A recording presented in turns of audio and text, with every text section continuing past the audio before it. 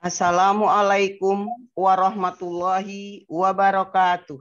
Waalaikumsalam warahmatullahi wabarakatuh. Ahlan wa sahlan kepada seluruh peserta kajian Ba'da Subuh Zoom Al-Hasani. Marilah kita bersama-sama bersyukur karena pada pagi hari ini kita masih diberi kesempatan menjemput ladang pahala melalui indahnya menuntut ilmu. Pada pagi hari ini ada kebanggaan tersendiri bisa dikumpulkan bersama bapak-bapak, ibu-ibu pilihan Allah yang berasal dari berbagai disiplin ilmu dan dari berbagai daerah. Semoga kita bisa menjalin ukhuwah yang erat yang dipersatukan oleh Al-Quran. Bapak-bapak, ibu-ibu, marilah kita dengar dan kita simak uraian dan penjelasan Al-Quran secara gramatikal dengan metode Al-Hasani yang merupakan inti dari acara kajian Ba'da Subuh ini. Pada pagi hari ini akan menguraikan surah Ali Imran ayat 130 yang akan disampaikan oleh Bapak Ustadz Haji Hasrizal Al-Hasani. Pagi ini pendamping beliau adalah Ibu Herlina. Terlebih dahulu kita sapa dengan hormat. Assalamualaikum warahmatullahi wabarakatuh, Buya. Waalaikumsalam warahmatullahi wabarakatuh. Semoga Buya beserta keluarga sehat walafiat Amin. dan selalu dan kita semuanya besar alasan dia kami dalam mempelajari Al-Quran. Amin, amin. Ya, selanjutnya kami persilahkan kepada Buya dan Ibu Herlina untuk menguraikan surah Ali Imran ayat 130. Syukuran Bu Rita. Bisa kedengaran suara saya Bu Rita? Bisa Bu ya. Bisa. Bismillahirrahmanirrahim. Assalamualaikum warahmatullahi wabarakatuh. Waalaikumsalam warahmatullahi wabarakatuh. Alhamdulillah Alhamdulillahi Rabbil Alamin. Wassalatu wassalamu ala asrafil anbiya wa mursalin wa ala alihi wa ashabihi ajma'in amma ba'du. Kalau Allah Ta'ala fil Qur'anil Karim A'udzu billahi minasyaitonir rajim. Bismillahirrahmanirrahim. Inna nahnu nazzalna zikra wa inna lahu lahafizun. Qala Nabi sallallahu alaihi wasallam Iqra'ul Quran fa innahu ya'ti yaumal qiyamah syafi'an li ashabi. Sadaqallahul azim wa sadaqa nabiyul karim wa nahnu ala zalika minasyahidin wa syakirin walhamdulillahi alamin. Pertama-tama marilah selalu kita bersyukur pada Allah Subhanahu wa taala yang telah banyak memberikan rahmat dan nikmat kepada kita semuanya. Dan pada pagi hari ini kita masih Allah berikan nikmat Islam, nikmat agama yang Allah ridai. Nikmat iman, dengan nikmat iman ini kita mampu untuk melaksanakan semua perintah-perintah Allah dan menghentikan semua larangan. Kita Allah berikan nikmat sehat badan, dengan nikmat sehat badan ini kita mampu melakukan kita sehari-hari dengan sempurna. Dan Allah berikan nikmat panjang umur, dengan nikmat panjang umur ini Allah berikan kita waktu untuk memperbanyak bekal menghadap Allah nanti. Dan Alhamdulillah pada pagi ini kita Allah berikan nikmat mencintai Al-Quran. Kita senang dengan Al-Quran. Kita cinta dengan Al-Quran. Dan sehingga tiap hari kita geluti Al-Quran ini. Dan juga Alhamdulillah kemarin kelas offline kelima, batch satu, karena bulan Februari ini banyak peserta, sehingga harus kita bagi dua.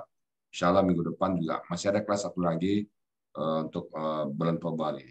Itu kami bikin juga karena banyak peserta yang tidak bisa tertampung lagi di tempat satu tempat. Mudah-mudahan Triple A segera terwujud sehingga bisa menampung lebih banyak orang. Dan kita selalu bersyukur bahwa kita dipertemukan di keluarga besar yang mencintai Al-Quran. Mudah-mudahan ke depannya Alasani dan keluarga besarnya tetap dilindungi oleh Allah Subhanahu Wa Taala Dan walaupun kita nggak sempat berjumpa di dunia, sempat berjumpa lagi di akhirat nanti dan bersama-sama kita dalam uh, memasuki surganya Allah. Amin amin ya rabbal alamin. Salawat beri salam tidak lupa kita sampaikan kepada junjungan kita Nabi besar Muhammad Shallallahu Alaihi Wasallam. Tokoh idola kita, uswatun hasanah, dan kita berharap kelak nanti di Malaysia bertemu dengan beliau dan beliau mengakui kita sebagai umatnya. Dan kita juga harap berdoa Allah selalu kita bersama-sama masuk surga bersama beliau. Dan di surga pun kita berdoa kepada Allah semoga Allah dekatkan kita jadi tetangga beliau. Lalu apa andalan kita? Amal ibadah apa yang menjadi eh, alasan kita untuk berdoa seperti itu hanya satu alasan kita. Kita mencintai Al-Quran. Mungkin kita sekali lagi banyak yang belum tahu. Kata banyak hal yang belum kita pahami tentang Al-Quran. Tapi kita sadar bahwa kita mencintai Al-Quran. Dengan modal cinta Al-Quran inilah kita ingin bertetangga dengan beliau. Amin. Baik Bapak Ibu, pagi ini saya didampingi oleh Bu Herlina. Assalamualaikum Bu Herlina. Waalaikumsalam Bu ya. Ibu Erlina di mana posisi ini? Di Padang, Bu ya. Padang di mana itu? Di Kota Kaciak, Bu ya. Oh, Kota Kaciak ada kayak kayak Kota Gadang berarti ya. Enggak. Kaciak mata air ya. Mata air. Oh, arah ke Gunung Pengilun ya. Bukan Bu ya, arah ke oh, Pantai Padang. Kan Pantai Mani Bu ya. Iya, iya, Mani. Ya, betul. Bayu ah. Oke, okay, paham, paham ada jalan dari Surabaya dari Padang ke kanan arahnya ya. Iya, Bu ya. Alhamdulillah. Bu Erlinda masuk Alsani kapan? Uh, diajak dulu uh, awal uh, September Bu ya, tapi mulai yang mungkin pertengahan September Bu ya. Yang yang ngajak siapa?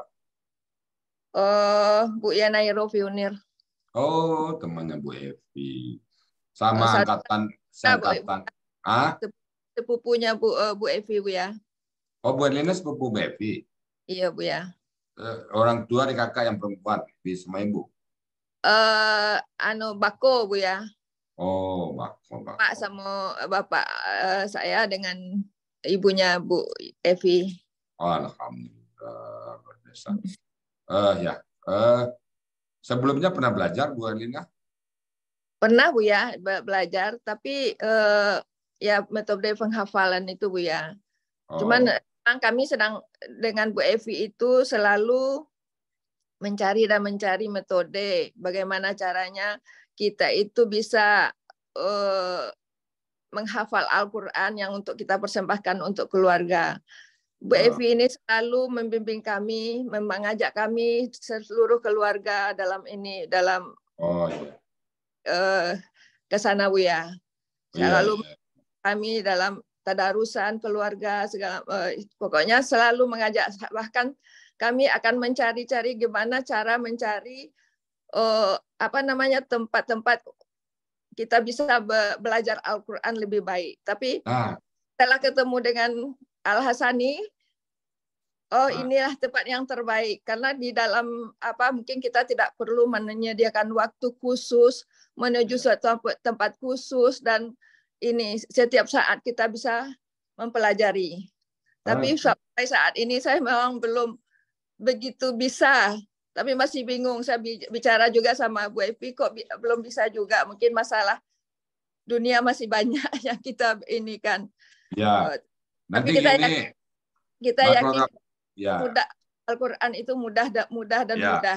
Hanya kita Jadi gini, uh, bilang sama Bu Epi Enero ya program ya. Bu Evi sama Bu Linda bawa boyong aja ke Sentul. Nanti di Sentul ke tiga hari. Iya, kita berusaha nah. ya tapi iya iya iya tak bisa diajak bu ya. Ya. Ada banyak banyak halangan katanya bu ya. Halangan itu dibuang halangannya. Iya iya bu ya. Dan jadi biarkan halangan itu ada buang aja halangannya. Iya bu ya. Halangan itu halangan itu hanya sebuah persepsi kok. Halangan itu hanya sebuah asumsi jadi kalau kita asumsikan dia halangan, maka dia di halangan. Nggak lebih kok, sebuah asumsi aja. Asumsi, persepsi, halunisasi, ya itu halangan itu gitu. Dia nggak Iya. ada, dia bukan barang nyata. Ya, dan hanya ada di pikiran. Gitu kita buang dia bukan halang lagi, dia tidak menjadi halang. Iya, iya. Pengalaman uh, dia true story dari saya. Halangan, rintangan hanya ada dalam pikiran kita. Begitu kita buang dalam pikiran kita, dia tidak menjadi halang. Dan tidak yang kita anggap halangan itu tidak kita butuhkan dia. Malah dia sama dengan para berumah tangga, dia banyak menghalang kita, tapi dia nggak diperlukan ya itu sebenarnya. Iya, Kalau kita lebih jeli lagi, ya. Jadi sederhanakan aja pola pikir kita. Sederhanakan hidup, insya Allah pahala kita banyak.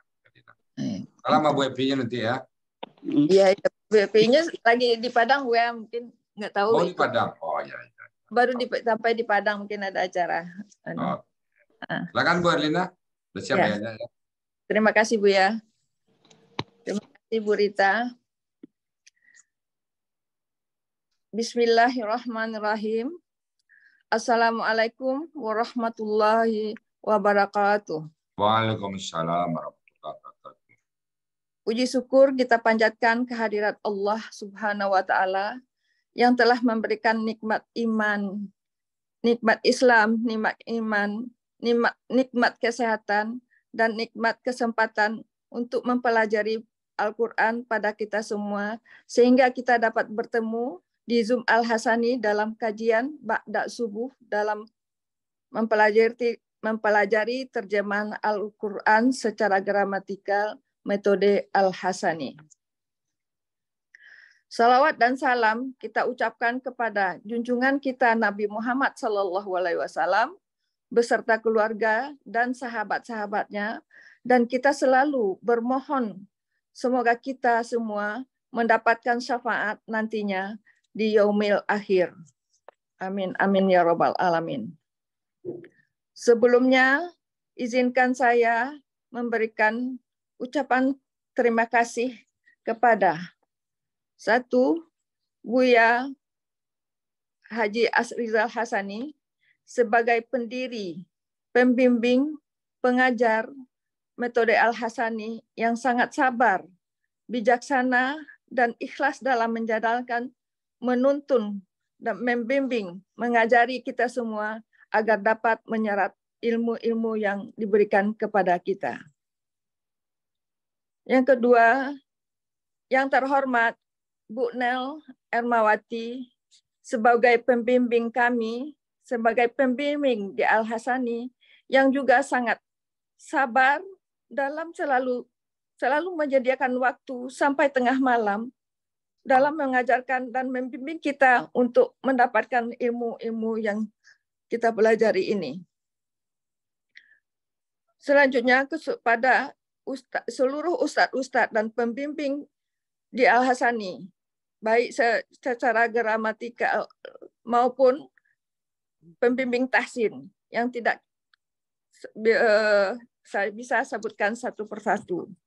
Kemudian kepada teman-teman dan uh, seperjuangan yang selalu penuh semangat, antusias, dan setia dalam uh, mensupport mempersiapkan pelajaran setiap harinya. Dan tak lupa juga kepada kakak saya, Bu Evia Nairo Feunir yang selalu istiqomah mengajak kami dalam melakukan perbuatan kebaikan amal untuk menuju akhirat nanti. Kemudian izinkan saya akan mencoba untuk menyampaikan, mengartikan surat Al Ali Imran ayat 130 dengan metode Al-Hasani.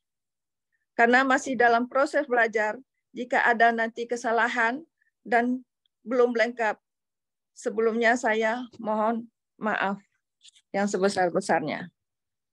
Baiklah, saya akan memuja, memulainya dengan membacakan ayat Al-Quran. A'udzu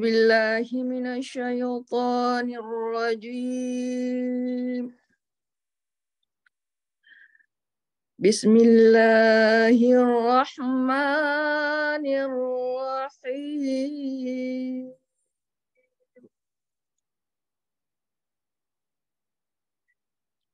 يا أيها الذين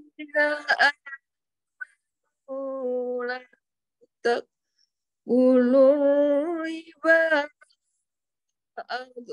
أضعافا مضاعفة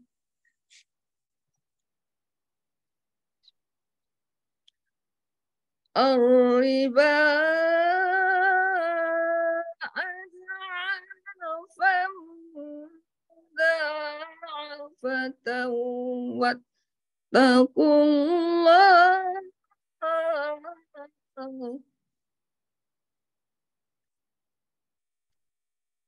واتقوا الله لعلكم تفلحون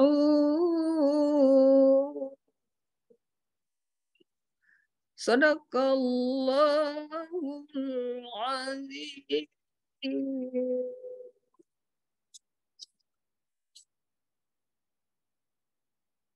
Uh, saya akan mencoba menguraikan surat Ali Imran ayat 130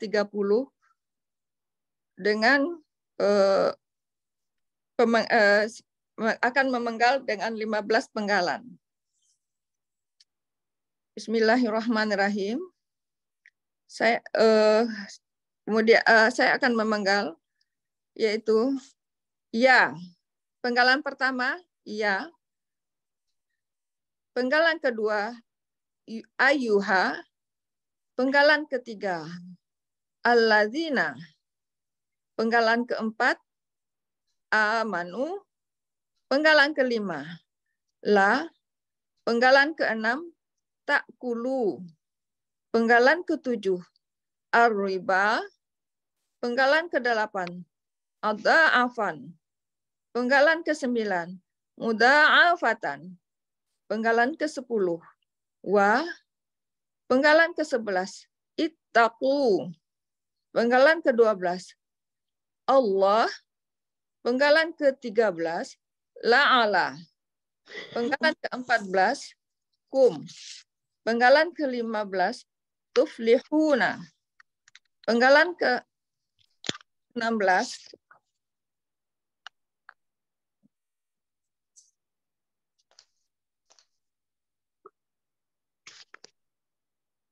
eh sampai 15 maaf Bu ya. Penggalan Kemudian eh, penggalan ke satu ya itu huruf bermakna, artinya wahai. Eh, penggalan kedua, ayuha, adalah huruf bermakna, artinya juga wahai. Jadi wahai-wahai bisa uh, duhai. Penggalan ketiga, allazina, yaitu kata pengganti, artinya orang-orang yang. Penggalan keempat, amanu, uh, adalah bentuknya KKL dengan ciri akhiran waw sukun alif yang menandakan pelakunya hum. Akar kata amana, amina, amana, pola af'ala artinya mereka beriman. Terdapat di kamus Mahmud Yunus halaman 49. Penggalan kelima, la. Itu huruf bermakna, artinya janganlah. Penggalan keenam, tak kulu. Bentuknya KKSAD terpotong. Bercirian, berciriannya adalah awalan ta. Seharusnya tak kuluna, karena ada la di depan, maka nunnya menjadi hilang, diganti dengan alif. Menjadi tak kulu. Pelakunya antum, akar kata akala, pola fa'ala, artinya kalian memakan. Terdapat di kamus di kamus Mahmud Yunus halaman 46. Penggalan ketujuh, arriba, bentuknya kata benda, cirinya awalan alif lam, akhir, eh, akar kata raba menjadi raba, rabawa menjadi raba, Pola kata kerja fa'ala, pola kata bendanya fi'alun. artinya riba. Terdapat di kamus Mahmud Yunus halaman 137. Penggalan ke-8 ad'afan bentuknya kata benda. Cirinya berakhiran tanwin. Akar kata da'afa. Pola kata kerja fa'ala. Pola kata benda af'alun af'alun. Artinya berlipat ganda. Terdapat di kamus Mahmud Yunus halaman 229. Penggalan ke-9, afatan. Bentuknya kata benda pelaku pasif, cirinya berawalanmu, berakhiran tanwin dan ta marbutoh. Ciri eh, pasifnya adalah huruf kedua dari akar kata berharkat fatah. Akar kata do'afa, pola kata kerja fa'ala, fa'ala, pola kata benda mufa'alatun. Artinya berlipat-lipat terdapat di kamus Mahmud Yunus halaman 229. Penggalan ke-10 wa adalah huruf bermakna artinya dan. Penggalan ke-11 Ittaqu. Bentuk KKP, cirinya berakhiran waw sukun alif, pelakunya antum, arkat kata waqaya, pola ifta'ala, untuk mencari akar kata, kita buang alif di depannya dan waw sukun di belakang. Sehingga tinggal dua huruf, yaitu toka, sesuai dengan materi Al-Hasani halaman 29, bila yang tinggal dua huruf, ta dan ka, maka akar katanya waqoya. Dan polanya ifta'ala. Kemudian masukkan ke dalam waka, dalam pola ifta'ala, sehingga kita mencari menjadi iutaqa. Huruf alif dan uh, huruf alif yang berkasrah tidak bisa bertemu dengan waw sukun sehingga waw sukunnya melebur ke ta menjadi tasdik sehingga iutaka menjadi ittaqa sehingga kata yang dicarilah ittaqa artinya tawakallah atau takutlah kalian. Terdapat di kamus Mahmud Yunus halaman 505 Penggalan ke-12 Allah. Artinya Allah. Penggalan ke-13, la'alla. Itu huruf bermakna, artinya semoga atau supaya. Penggalan ke-14, kum. Itu adalah kata ganti, artinya kalian. Penggalan ke-15, tuflihuna. Bentuk KKSAD, cirinya awalan ta, akhiran waw sukunna pelakunya antum, akar kata falaha, pola af'ala, kata yang dicarilah adalah aflaha, artinya kalian menang atau beruntung. Terdapat di kamus Mahmud Yunus halaman 323.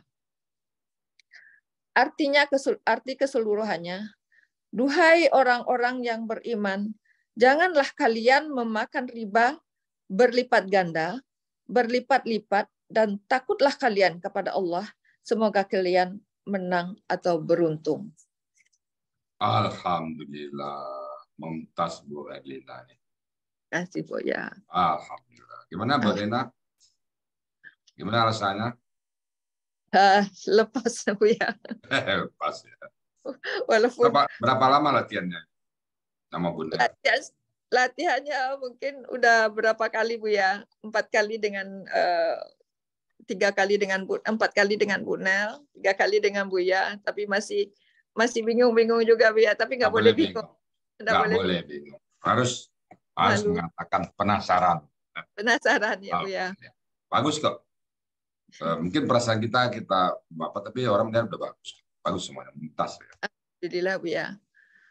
Karena memang aturan tidak semua orang memberikan uh, pencintanya kesempatan bahkan kesempatan bukan semua orang. Ada orang yang sudah mendaftar tapi mungkin karena sesuatu uh, Allah cabut lagi dia akhirnya dia saat detik-detik apa ada aja keperluan dia sehingga yeah. batal dia. Tapi sebaliknya orang yang ingin mencari-cari udah mau tutup kita malah dia tanpa sengaja bisa masuk ya. Jadi yeah. ya, kedua hal ini memang terjadi. Alhamdulillah kita tetap berada di orang-orang yang dikehendaki Allah. Amin. Baik, dan mumtaz buat Lena ya saya tambah dikit aja. Ya, alhamdulillah. Bismillahirrahmanirrahim. Ya ayyuhallazina aman. Ya ayyuha itu sudah sering dijumpai kan. Ya ayyuhan nas, ya ayyuha, ya ayyuha. Ya itu wahai, ayyuha juga wahai. Nah, panggilan ini kata para ulama, ya ayyuha itu panggilan halus kalau dia berkaitan dengan orang-orang yang beriman. Tapi pada saat ketemu sama orang-orang kafir, ya ya ayyuhallazina kafaru. Nah, itu biasanya eh, sebuah sindiran, sebuah ejekan sama dengan kata kita kalau saya menemankannya kalau kita memuji seseorang yang baik maka kita waduh ini baik orangnya ah, bisa gitu ya. Itu kan teman baik memang. Tapi kalau kita uh, ada sama orang nanti dikecewakannya hebat kau ya. Nah hebat kau itu, itu adalah cuma oh nah, sindiran itu kalau kita mengakui orang hebat maka baik kita uh, hebat kamu sekarang. Memang pengakuan tulus. Tapi kalau pada saat kita dikecewakan orang hebat kau ya, hebat menipu aku. Nah, itu juga ini, wahai kalau orang Islam itu halus panggilannya. Untuk orang yang uh, kafir itu ledekan. Wahai orang-orang yang amanu mereka telah beriman. Dipanggil orang beriman kan. Apa bunyi panggilannya kalau ya ayyuhallazina amanu, ya ayyuhallazina amanu, siap sahabat dulu itu begitu baca ayat. Ya ayyuhallazina amanu, siap menerima perintah apa perintah berikutnya? La ta'kulu. Janganlah kalian memakan riba. Jangan makan riba. Gak boleh makan riba kita. Apa itu riba? Nanti ada fikih tersendiri tentang riba. Yaitu kelebihan atas kita meminjam harta kepada orang lain. Nah, kemudian apa itu? Ad'afan muta'afatan. Berlipat-lipat. Oh, kalau gitu sedikit nggak apa-apa ya. Bukan begitu maksudnya. Karena riba itu berlipat-lipat. Ya. Ad'afatan pak ad'afatan muda'afatan tadi juga diuraikan kan kata benda satu lagi kata benda pelaku pasif jadi berlipat-lipat ya. Kalau kita bahasa kita tuh kalau seperti ini kan bahasa apa? Hancur lebur porak poranda luluh lantak nah itu bahasanya begini. Kata akar kata yang sama da'afa sama-sama da'afa. Bentuknya yang berbeda-beda. Jadi berlipat-lipat. Kenapa? Eh, riba itu membuat orang eh, menguras yang orang yang punya modal menguras orang-orang yang tidak punya modal. Kalau larang riba. Betapa dahsyatnya riba ini sampai-sampai Allah katakan kalau tidak berhenti kamu saya perangi kamu Allah. Allah marah pada perbuatan yang lain terhadap perbuatan riba diancam dengan perang. Itulah riba ini dilarang sekali. Kemudian uh, yang berikutnya wattaqullaha dan takutlah kalian kepada Allah. Takut kepada Allah Kenapa? La'allakum tuflihun. Agar kalian semuanya tuflihuna. Beruntung. Sukses, jaya. Sukses di dunia, sukses di akhirat. Kita beruntung di dunia, beruntung di akhirat. Jadi kita harus betul-betul mana yang larangan Allah, itu kita berhenti total. Tidak boleh kita uh, separuh-separuh. Tapi kalau perintah Allah, ya mungkin ada perintah itu dua. Perintah yang wajib, perintah yang sunnah. Tapi kalau larangan semua nggak ada nggak ada larangan sunnah, nggak ada larangan wajib. Larangan semua wajib. Baik Bapak Ibu semuanya, ya, sekian yang dapat kita uraikan dari segi gramatikal dan nanti insya Allah eh, mungkin kalau ada waktu kita coba undang eh, pakar riba, siapa kenal riba ini banyak sekali istilahnya ini ya. Mana yang riba, mana yang kelompok riba. Nanti mungkin kita coba sehari saya sudah berusaha mencari sampai sekarang belum karena eh, orang yang ahli riba itu sangat sedikit di Indonesia sangat sedikit. Jadi mencarinya itu memang susah juga. Mudah-mudahan ada manfaatnya. Lagi Bapak Ibu karena masih sama belajar, tentu ada hal-hal mungkin yang kurang pas ataupun yang salah. Besarnya. Dan kalau benar itu semata-mata datang dari Allah Subhanahu wa taala. Mumtaz Bu Erlina ya. Semoga Bu Erlina tetap istiqamah ke dengan Quran dan dengan keluarga juga. Andai saja nanti Bu Adena bersama Bu Epi Naironya. Oh perlu sekeluarga satu keluarga ke Sentul. ya. Silakan Bu Rita. Ya. Uh, terima kasih Bu ya. Bapak-bapak, ibu-ibu yang berbahagia.